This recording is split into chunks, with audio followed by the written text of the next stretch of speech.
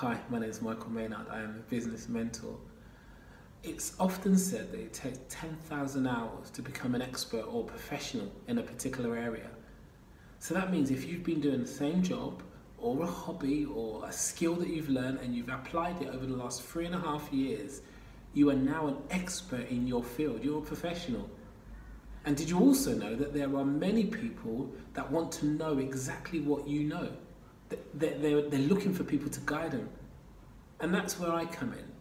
I'm looking for people that are willing or want to set up their own business or to become mentors for thousands of people that need guidance.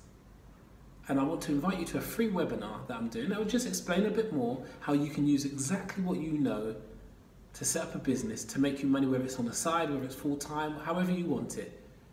But there are people that need to know what you know. So see the details on the screen and join me.